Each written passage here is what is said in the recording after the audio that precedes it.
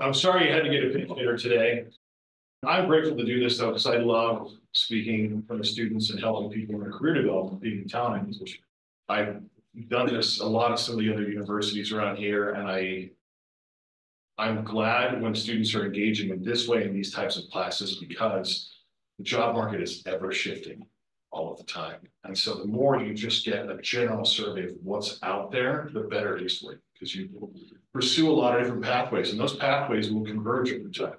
You'll have a lot of different kinds of opportunities in front of you. And it may not be just in one career track. Do you guys know how many career tracks people on average will likely have in their lifetime? You ever heard this stat? They're guessing millennials and Gen Z will have about five different career paths in their lifetime. That's just fairly common. Sometimes they say it's as much as seven just because job market shift, people, sometimes they'll get into something, and this, this definitely happened to me, although I was about three years into school, and I, they've been in Arrested Development, Michelle, okay, Joe, okay, I made a huge mistake. About three years into my undergrad program, I was like, oh, I made a mistake. Uh, this is not what I want to do long term, and I know many, many people who have had that kind of realization after they entered their their first couple of jobs in their career field, they said, "This seems great, but I'm a little weary of some things in this industry." So they go explore something else. So what I would what I would tell you, no matter you know, you're going to get some very detailed things from today, and I hope you you ask questions. I, I want to be as helpful as possible, but please keep in mind that you are a person that can gain many skills over time. So whatever you choose now, just be open-minded to other pivots, pathways you can take. And there's a lot of joy in that in that journey over time too. So sorry about using trite statements like joy in the journey. All right, well, I'm going to jump in. There we go. Jump in and um, talk a little bit more about two different, uh, a little bit about two different industries. The first one is the insurance industry, and the second one is my field of practice, which is of course talent acquisition or, or essentially HR. Happy to go into any background there. One of the things I will say as well is who, well, I'll ask, who has a LinkedIn account right now, LinkedIn profile? Yes, good. If you don't have one, I hope you create it today. One of the things I've often told students is they're underutilizing their LinkedIn accounts right now. So I'll invite you, if you want to connect with me, I'm more than happy to connect with you. Send me an invite, pretty easy to find, JD Conway, Running Utah, whatever it is. So I'm really happy to do that. And, and I, I just, I want students to be able to continually network with folks because that's how you so often find new job opportunities, find out more about fields, and it should extend beyond this this room or this this lecture and this uh, lecture series. So I, I worked for, or I, I was on the board for Utah SHRM in college relations. SHRM is the Society for Human Resource Management. The national organization is about a half million people. And the state level board, they had me over college relations because I was just so passionate about helping everybody out in their early career stuff. So even afterwards, let me know if you have any questions. Okay, so a little bit about just the, the insurance industry. The next slide is insurance industry is not something that people go, oh my gosh, I'm dying to get an insurance. Nobody grows up as a six-year-old and like, I want to be an insurance broker, right? So it, it, helps to talk a little bit more about some differences in the insurance industry. I'm going to share some stats that are going to surprise you, I think. First one is there's insurance brokers and insurance carriers as companies and organizations. You guys know the difference. we know differences. Most people don't. So I'd be shocked if there was somebody in here that did, unless their family member was a broker or something. So insurance carriers are places like, uh, let's say the Hartford. You've seen their, their ads on TV or something like that. The insurance carriers are the people that actually fulfill the underwriting of a of an insurance policy. They might insure one particular area, like housing, like they do home insurance specifically. They might do other property and casualty in the business world those kinds of things. Those are carriers. Brokers are people that essentially they represent their clients really well. So at PCF, we're a broker, and we'll go to the carriers and we'll say, hey, carrier, Hartford, whoever it is, we have, well, I don't know, thirty thousand business owners that all need this kind of insurance. You want some of that, don't you? You should give us a discount. So we could pass those discounts over to them. We, in, in many ways, represent the needs of the client. So we'll go to a business owner and say, okay, you need liability insurance, basic liability stuff in case somebody slips on the floor and tries to sue you and like you have some coverage there and things like that. There's a lot of different ways that brokers can insure people. So think about any kind of insurance that's out there. Brokers can be in and uh, in that and involved in that. PCF specifically is interesting because we're a huge broker and we're in Utah. There's not that many big brokerages in Utah, right? There's, I'd say a, a larger one is Leavitt Group down based out of Cedar City. And then other than that, most of them are East Coast based, Chicago based, those kinds of things. You have one in Newport Beach in the top 20 grouping. So here's a little bit more about PCF itself. We're about 900 million in revenue. Most of that is through mergers and acquisitions. Has anybody studied that yet? Looked into that at all? Okay. Yeah. Mergers and acquisitions, very interesting field. One of the things I thought was very interesting about this place too. I keep reading about small businesses and all kinds of different businesses that baby boomers are, are trying to actually sell off their businesses and retire and nobody's buying their businesses. I think like one in 12 gets bought or something like that at this point. In this world, there's insurance brokerages. Anybody can start an insurance brokerage or an agency, as it were. And so what PCF does is we have a, an M&A team that scouts out and looks at places, looks at their EBITDA numbers. Does anybody know what EBITDA is or stands for? Anybody? Okay. So I'm not here. Earnings before interest, taxes, and amortization. So that's just basically saying, you know, how profitable are you? You know, what, what are your earnings in general? That what's that number? They'll look at certain numbers and say, this agency is a great agency. Can we buy you? We want to buy you. And that agency owner's like, great, I retire early. Awesome. This is fantastic. And we're able to kind of absorb, grab their clientele, make sure we absorb them into our ecosystem, as it were. We also have organic growth itself, just from there. It's not just through mergers and acquisitions. Organic growth is something that I didn't realize this until I joined PCF, but there's a lot of stability in the insurance world, a lot of stability. It was one of the essential during COVID, it was one of the essential industries that had to stay open. Generally, that's one of the reasons why investors like the insurance world is because it's like slow and steady. You may not be growing at 50% a year, but in general, as far as your organic growth goes, but in general, like steady growth. It's a reliable investment, as it were. So we were the fastest growing company in Utah three different times. But we were growing so fast, I, I feel like we didn't do a good job of telling everybody about that because we were just running so fast with mergers and acquisitions all over the country. And then we just won award for the fourth fastest growing company in Utah. We have just shy of 5,000 employees about 120, or sorry, 140, which I think this number is a little small now because we continually buy up places. So it's probably closer to 200, I would say, maybe 180 different offices or agencies that we bought. And they have sometimes numerous locations. So about 270 locations over 42 states. And we're a top 20 broker as far as just size, revenue size, premium, other things like that. So just a little bit about PCF. I'll pause here for a second, even though is kind of a lecture series, I'll pause to see, is there any burning questions anybody has just about these things? Most people don't. Oh, yeah, okay. So I never looked into the insurance industry and hearing about this, it's really interesting. How did you get into the insurance industry? Okay, I frankly stumbled into it very recently. I was at third party recruiting for the early part of my career, which does anybody know what that is?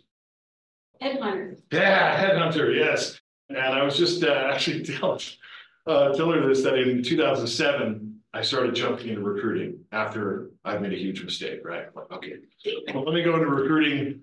And then after that, the economy crashed, Great Recession happens. And the way that me and it was me and my father trying to run things, the way that we pivoted is we we went to talk to mining companies because gold and silver were up when nobody else was hiring.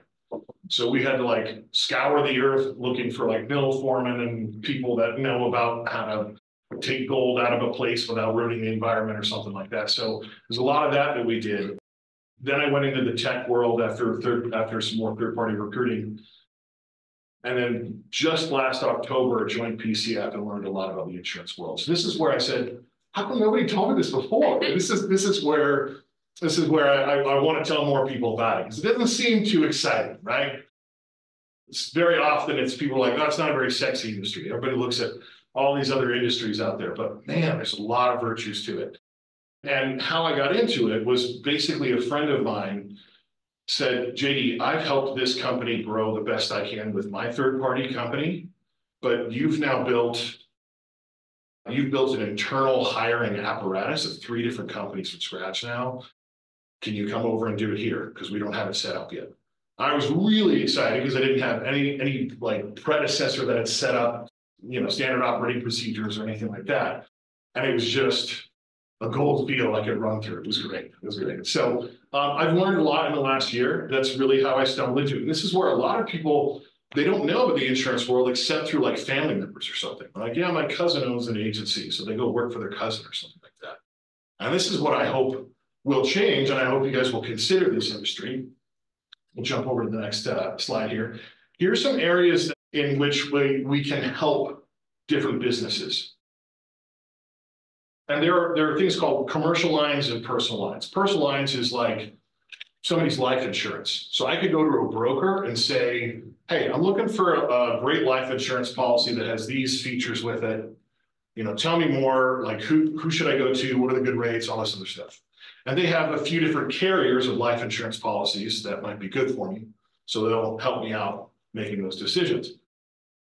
Whereas in you know being a business owner or maybe a small business owner or maybe I own a ranch or something like that, how do I make sure that my crop is insured? How do I make sure that other aspects of what I'm doing is insured in case hopefully never happens, in case calamity happens?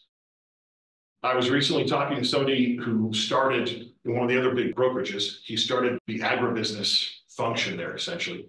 One of his clients was Land O'Lakes, you know, the butter. Okay. And they're massive operations. So they, they need to make sure, what if something happens here? What if like our fields flood or something like that? What if something happens with our dairy farms or our outside groups? We just need to make sure we have the right coverage just in case. And that's one of the things I think is actually really cool is that when you have insurance, you have peace of mind. I'm a very unlucky person. As soon as I don't have auto insurance, I had a gap for one day one time, somebody broke into my car. I was like, no. So I'm a very unlucky person. Insurance companies love me, but I, it's because I want to insure everything because I know that it's it's bound to happen. But it gives me peace of mind, and I love that. And that's really important. A business owner may work so hard for what they're doing, what they're building, and then calamity happens, and they have no way to it from that. Yeah. So it sounds like you just, you mostly work business to business Majority of our businesses, yes. and it's more to mitigate risk. Yes, absolutely, absolutely. And to help them look at different policies, I mean, sometimes we have, uh, there is a wing of our business that is employer benefits and insurance there too, right?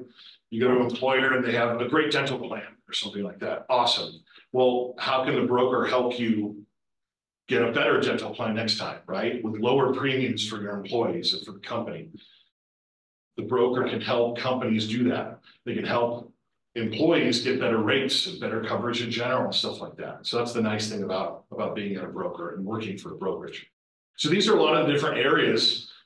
It's interesting, we, we even have a, an agency in Maine that specializes in marine insurance in, right, in boats. It's like, oh, okay, didn't expect that in Maine. I guess they got some very deep water lakes, but but they also, I mean, they cover coast to coast. I don't know how they got that, but, but over time, they just built more and more clientele and clients will refer people. Hey, my broker really took care of me. They got me great rates through this and I, I got great coverage as a result too.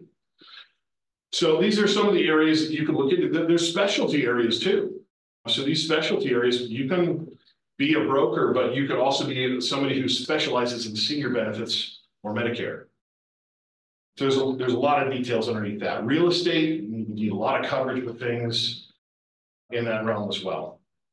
One of the things specific to the industry that I hope you will spread the word on, whether it's a PCF or anywhere else, just about the industry is article came out last, uh, last year, this is April of twenty-three, I think. Talked about the amount of people that are gonna be retiring in the insurance world. Four hundred thousand by twenty thirty-six. And as you look, the second paragraph, hiring pool is limited for entry-level experienced talent. With sixty-five percent of people leaving an insurance job. And generally, they're also exiting the industry, they're retiring. So tons of opportunities coming. PCF and a lot of the big brokers, I can tell, they're all kind of planning ahead for it. Some of them are panicking a little bit. "Uh, everyone's gonna retire in the next five years. How do we get, you know, how do we cover everything? How do we cover our bases? PCF, we're planning ahead for that. And one of the things I found very interesting is opportunities to get into insurance are vast. There are many different ways to do that. You don't need a degree in risk management. You need specific insurance licenses, which most companies, most brokerages, at least will take you in for the job. They'll give you the training for that, and then you take your licensing exam. I was told it wasn't that intense. I haven't taken it myself yet, but I was told it wasn't that intense. That it's, uh, I think like hundred bucks, something like that. And you can take it many times to, until you pass it. So just like, do you guys know Fidelity down there? I've heard of them. What, sorry? I've heard of them. Mhm. Okay, yeah, Fide- Fidelity, they do an interesting uh, and a good job of, of bringing on staff and training them for their stockbrokers licenses and everything like that, their Series Six and everything. More and more insurance companies are doing that too, because it's not, it's not very costly to them. You start out in kind of a customer service role, you can train up. You can go on account management, or you can go on the sales side. So the sales side is very interesting. If you're really driven by monetary things, insurance sales is a very interesting thing that I wish I had discovered a long time ago. I was like, I would have changed everything if I knew this. And the reason why is because you're, you're meeting with business owners to get them that coverage, but then after that, you're just making sure that they're taken care of. So these are the people that are going to golf all the time and stuff like that, just making sure that it's relationship based. And I'm a relationship based person, why I love recruiting. So if you like building and maintaining and keeping good business relationships, it's a great place to be. Somebody even, uh, the person who suggested I come over to PCF said, hey, in your first, in your first meeting or so, when you're meeting all these people at a reception, little conference, you're gonna notice something. They're all relationship people, so I think you're gonna understand. And, and when I went there, I was like, oh, these, this is my tribe. These are my people. Oh my gosh. And so for the longest time, I was at tech companies and, and not everyone in tech company is a people person, right? And that's okay. That's fine. But, uh, but it was really, really cool just to go, oh, these are relationship owners. That's what they do. And so, so many people in insurance sales are making hundreds of thousands. After the, usually the first two years is hard because you're building up your own clientele and everything. They'll give you a base, uh, base salary and then, and then do a draw on that or something like that. But then after a while, you're just going off of commissions. I'm replacing somebody in California that has been doing insurance for a while and just on year over year, their commissions are one point four million. So I was like, I had no idea, like, you don't need an advanced degree for this, this is amazing. So just something to, to think about, look into in case, in case you want to look into this or tell family members about it. Okay, go jump to the next one. Here's some. Some just stats from the Bureau of Labor Statistics that I, that I picked up here. I mean, this is for usual account management. When it talks about insurance sales agents, these are at carriers, so it's a little different. But I will say, when you look at underwriters and claims adjusters and things like that, the majority of those salaries are, you know, between sixty and eighty. So either way, not a bad living, right? Not a bad living. And over time, the value for somebody who's a really good account manager goes up and up and up. And there's a ton of value to that. And more, since more and more people are leaving, companies are gonna try to keep them more and more, because you just get so much domain experience. You might be an account manager that is a guru in, sorry for the term, uh, in, in marine insurance or something like that, right? And that's really valuable. So another thing to look at and consider, we'll jump to the next one. This is actually a table that shows unemployment in the industry for the last ten years. Now, unemployment rates are, this is just in insurance, obviously not national. What's the highest that you see on here? Let me put it up. Four point eight. in July of twenty twenty. Are we shocked? Okay. What was the, does anybody remember what the national unemployment rate at that time was? It was closer to like 14, 15 percent. So insurance has very low unemployment. If you want to stay in like employed in the insurance world, you're going to stay employed in the insurance world. Uh, You're, going to be fine. Most experts in the HR world say full employment is about two percent.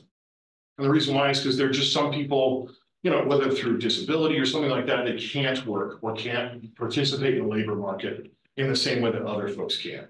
So they say, yeah, full employment is really closer to like two percent. Look at how many times we're at one percent.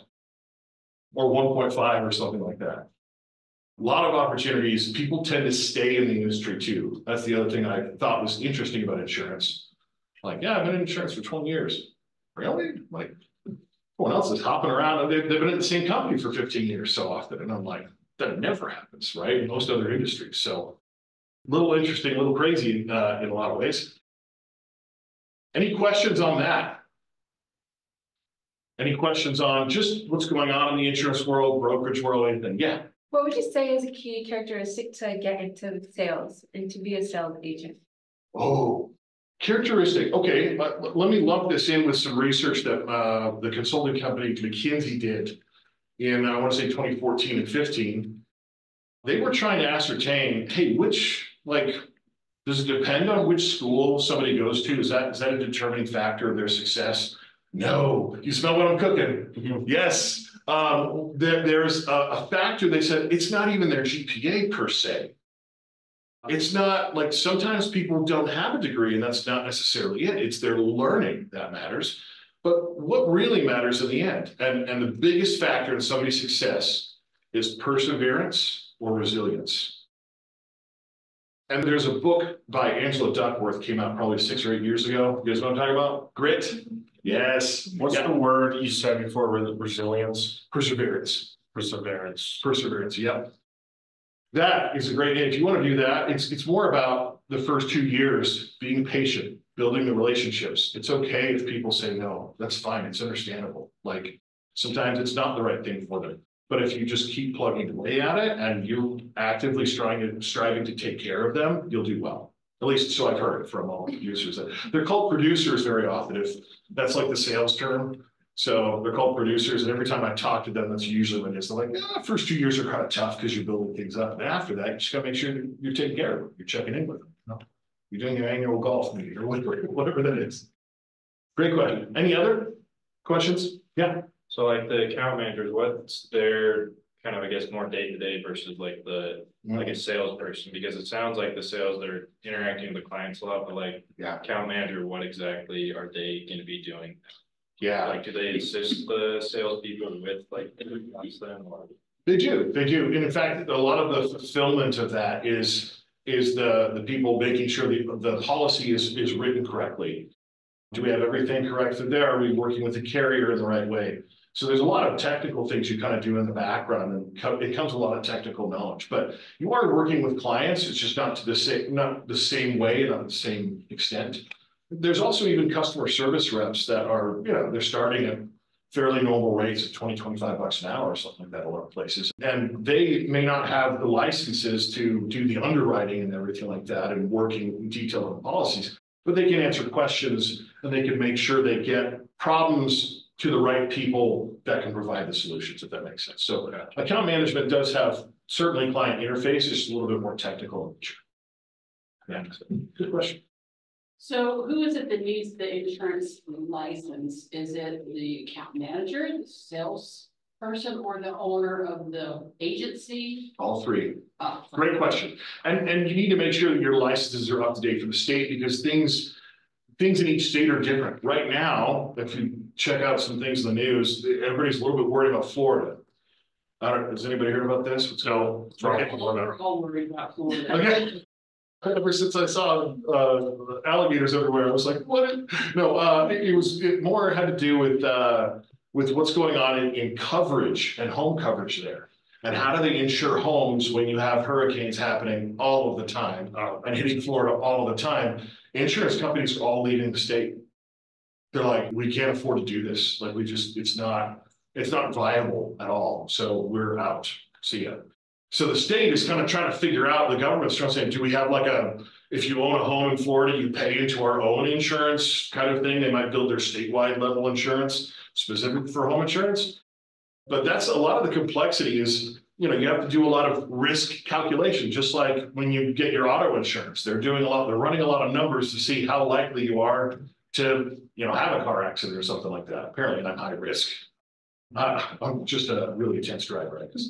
Um, no, but, but really, I mean, there's a lot of complexity state by state, so you do need your licenses specific to the state and everything like that. Again, I've been told that, that they're not that intense, but they do want to, it, it is a good foundational, and now you are licensed to go do that in those three functions. Great question. Any others?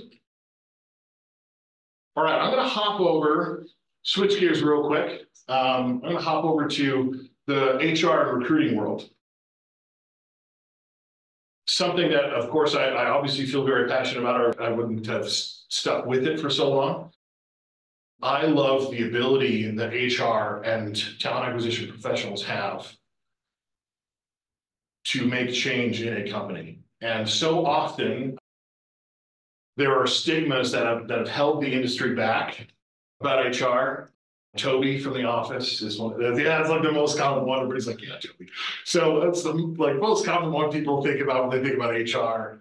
My, my concern is that there are a lot of people in this world that are administrators in HR and they're not necessarily change makers. They're not necessarily people that see, you, you can see the problems in the workforce, but are you actively trying to solve them? Are you working with the CEO to do that? Or are you just kind of like handling the paperwork you gotta hand?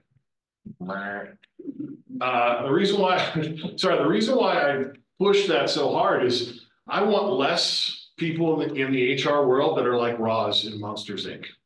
So Less of those, please.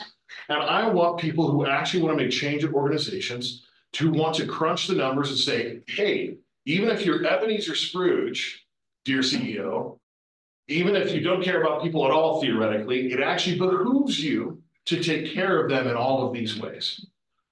To take care of your employees, and the numbers are there. And, and I, I, I just want more and more people in the industry that are excited about making that change, because you can have a lot of impact. The interesting thing is that my team is rather small, but just on, at, at our corporate headquarters, we have interaction with literally every department, because every department has to hire somebody. So we're seeing workforce problems, we're seeing in advance saying, oh man, maybe they're a little bit light staffed. How can we help? Is there any way that we can float this around? Sometimes I'm seeing work silos, and this happens at every company. But work silos all the time. Somebody's working on a project over here. These people are working on the same project. They don't think to check in with each other. So we're doing a good job of just like, or identifying. I, I call myself a silo breaker because like, hey, hey, who else needs to be in the room on this? Who else needs to be discussed, like, be brought in to this kind of project or whatever it is that we're working on. And when you're in an HR function, you, you're able to see a lot of things. And so it's a really cool way to do that. We'll go to the, the next area. Now, these are functions that I particularly have, uh, I would say, an expertise in over the last 15 to 20 years. And I bolded some of them that are new, different, that are that weren't around a little while ago and that are emerging, I would say. The demand is increasing. You're probably going to get people coming here and talking about the, the changes that AI will be making in their industry. I'm certainly seeing AI have some impact in a couple of areas, and we can project, you know, we think it's going to also make changes in cybersecurity or whatever it is. But one field that's safe, HR. People need to interact with people. And there are some very core things that are really important to that. Now, now some transactional work is going to be lifted by technology all the time, right? All the better, all the better. If a bot can handle questions about people's benefits or something like that, cool. But if they want to come talk to a person and, and, and discuss that, excellent. How can we make sure, understanding people sciences, how can we make sure that we're really taking care of the workforce and, and making sure that performance is great and everybody's loving what they do day to day with engagement? These are complex problems to solve though, at each organization, because each organization has different kinds of work. So how do you cover some of these areas? How do you make sure that um, See, compensation on total rewards are, are where, uh, where it needs to be. It became really, really competitive the last little while. It was kind of like a, yeah, we got benefits checkbox. But then when all these tech industries started booming, or tech companies started booming, you know, twenty fourteen and, and after. There became a really big competitive factor with, uh, a competitive factor with total rewards saying, um, you, you can bring, uh, here are all the benefits and, and here's all the other things and here's the perks and you can bring your pets. And, uh, uh, I mean, they just started like panicking in their competition and started looking at, okay, what are the ways we can cover people holistically and make a better and better place to work from the compensation and benefits side. So that's why I say there's, there's a lot of work to be done in that area still. Uh, and a lot of opportunities for people. I'll give people a second to take a look at this. And if you want to ask me anything about some of these areas afterwards, please do. I'd, I'd be happy to, to point you in the right direction. What I, I do want to focus on, if you look at the uh, second and third bullet points, there's employer branding, recruitment, marketing. Does anybody know anything about that, those industries? Or those areas, those functions? Oh, yeah, she knows. Yeah, yeah, yeah, awesome, awesome. Feel free to uh, chime in on some of the things I'm gonna address next. So I'm gonna jump to the next slide. And here's, uh, we'll forgive, uh, ask forgiveness from our resident marketer here, um, about some of these definitions, but essentially. This came from a, a training I, I gave members of my team a little while ago, talking about. The HR or talent acquisition and recruitment side of marketing. So these are mark, core marketing functions. If you look over here, we have right brand marketing, and I just have some very basic definitions. Um, it's, it's not certainly not all encompassing, but it generally covers a lot of the bases, a lot of the subsets of marketing stuff. There's demand generation, lead generation. Um, that's uh, looking at uh, org social, paid social, pay per click, you know, ad placement, all these kinds of different things there. That's the the technical ad placement side of things and up to brand marketing, you know, who you are and how you want to be perceived as a business. So, um, and, and how can you move that perception in the direction you want to go conscientiously? You have the same mirror over on the right-hand side with talent and employer brand. Um, a lot of these are, are key things that most organizations are not doing, but they have an opportunity to do with the right knowledge base there. And let me give you a few examples here um, who you are as uh, as a company or, your brand does affect how people perceive working there. People perceive working at Apple as a really cool thing, right? Oh, it's so cool because the products are so cool, right? And So people have certain perceptions about your organization that cross over into wanting to work there. Um, at the same time, what about that person that makes watches over here? Like, how, how do you not Rolex. I mean, if you're not really well known, how do you how do you put together messaging on why you should come work there?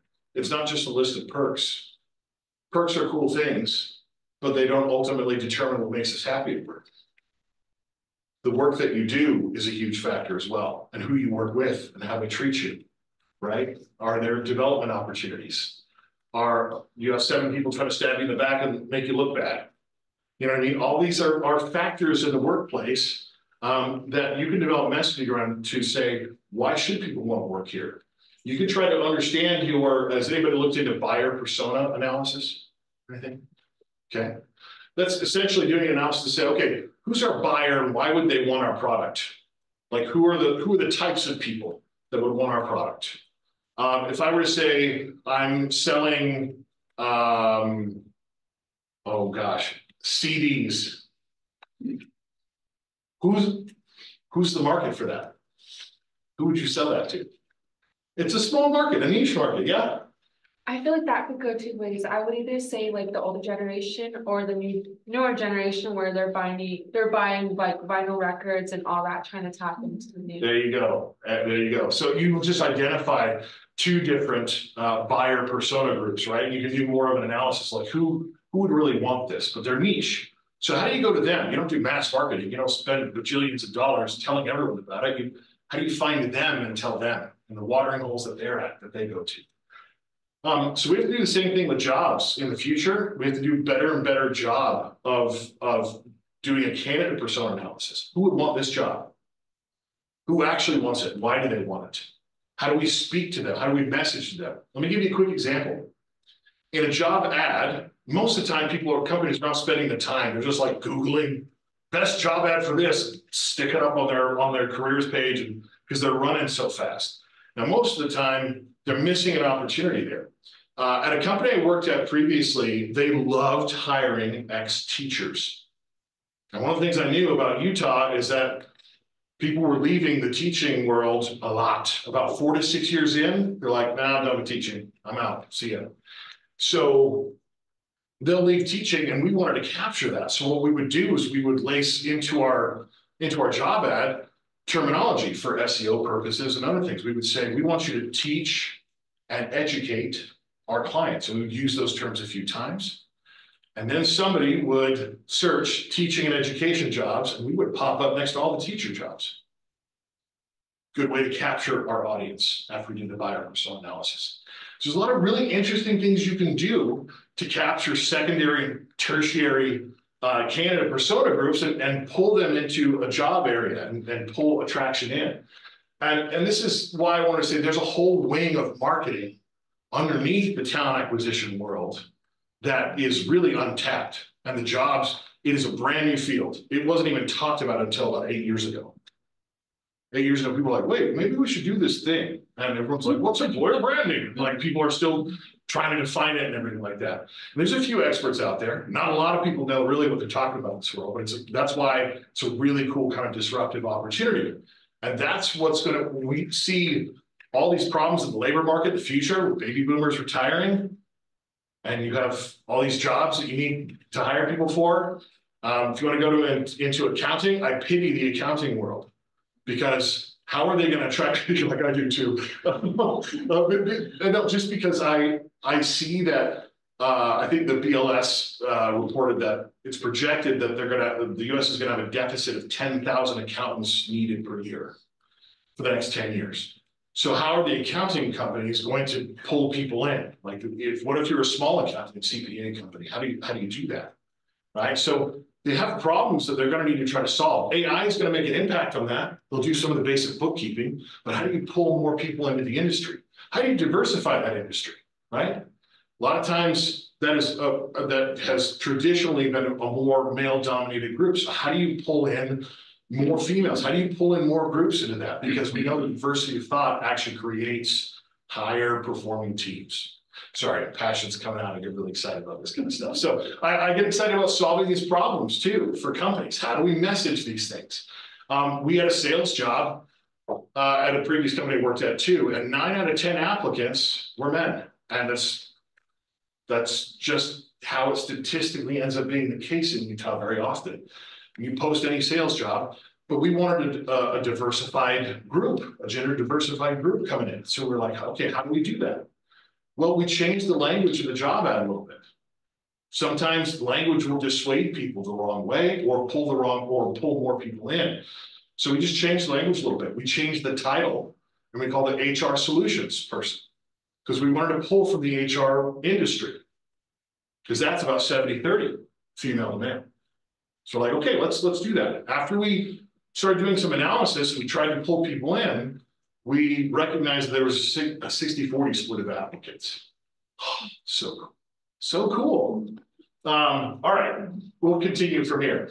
These are all the, yes, sorry. Uh, One thing I noticed on there, the first day of class, when I teach intro marketing, Mhm. I asked the students, what are some of the jobs where you could use your marketing skills?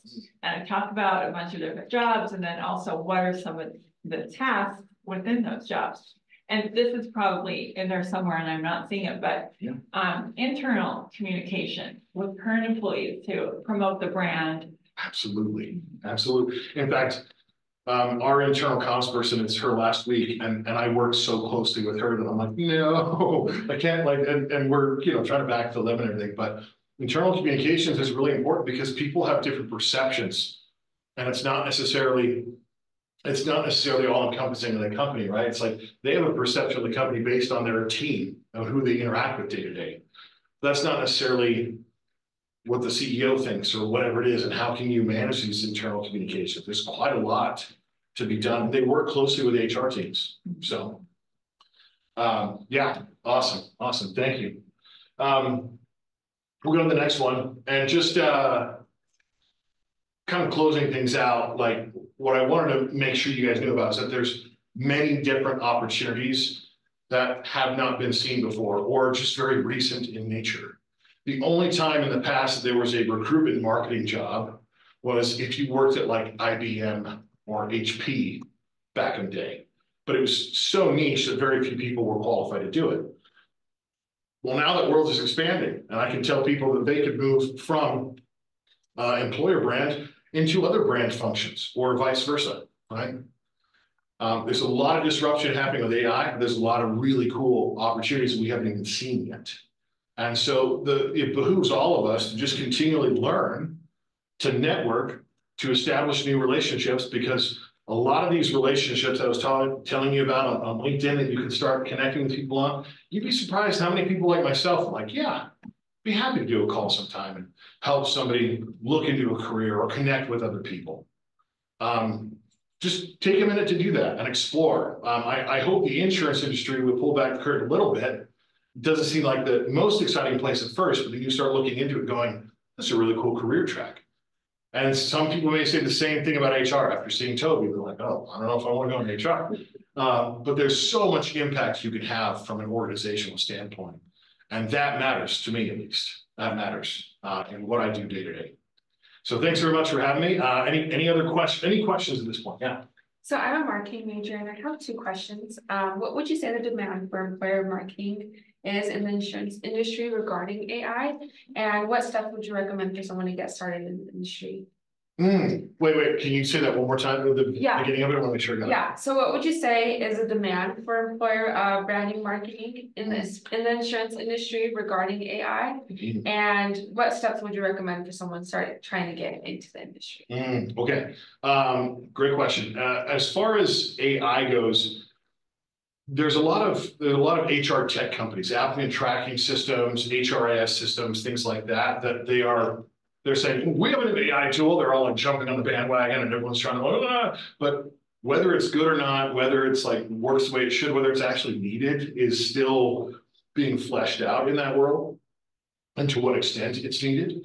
Um, so when it comes to that, I, I don't, I see some opportunities for systematic display advertising when you're looking at, at a way to advertise jobs. As far as disrupting the insurance world, talent brand and, and employer brand.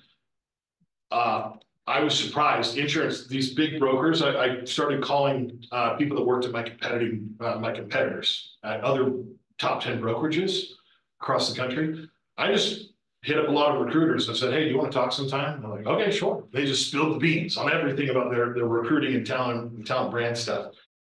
They're all having problems and they're stuck in legacy systems, kind of old ways of thinking. All of these recruiting team members would tell me this, like, it's not disorganized, it's not very organized here. We're pretty disorganized. So there is a need and demand in that world, in the insurance world, because they're just doing the way thing, they're doing things the way they've been done in the past, not innovating. That's what I actually really love about PCF.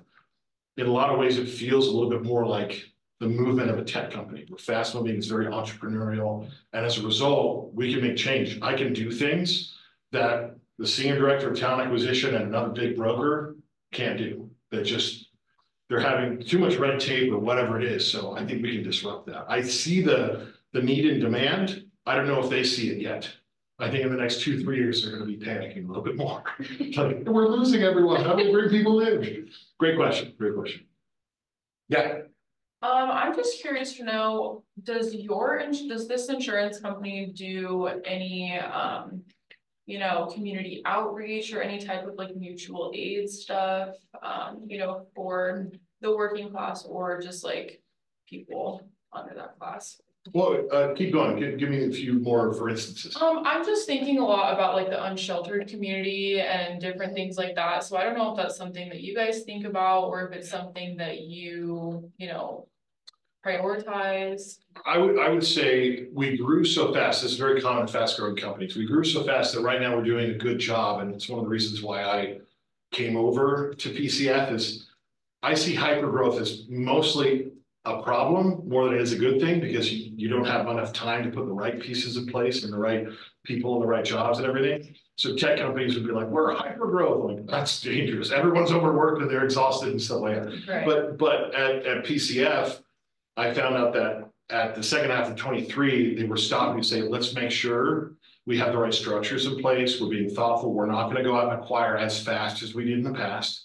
Because we need to make sure everything's functioning the way it should. And one of those areas I would say has to do with the community outreach group. So I, I know there's a lot of different things that we, that we do, that PCF does for sure. I have a hard time keeping track of them because there's a lot. Some of them are more localized. Um, uh, I, I know our, our regional vice president in Texas had a, a very big thing in Houston where he and his agency and agency partners kind of got together and had a barbecue for the homeless. And so it was really, really cool to be able to see what they were doing there. As far as the, the company goes, I mean, we're going to a, a benefit here pretty soon. There's a lot of sponsorship of, of benefit events. Does that help? Yeah, Yeah. yeah, yeah, yeah. I, I, I would say, I would say it's, I- I'm probably not the best person to talk about that, but, but there is a, a social responsibility that companies are responding to, and, I- and PCF is definitely part of that. So, yeah, great question. Thank you. Any others? So you talk about like the company growth and like acquiring different like groups and small mom and pop shops, it sounds like. Mhm. So how does that work with integrating into PCF? Is it like you rebrand them, they keep their branding, and now that you're just the parent company, they operate independently, or like, Yeah. what's that relationship like? Really excellent. It's, it's, at each brokerage, it's kind of different. Some of them will say, just keep your own brand, keep doing what you're doing. We're just gonna centralize your accounting functions so we know that you're not cooking the books or something like that, right?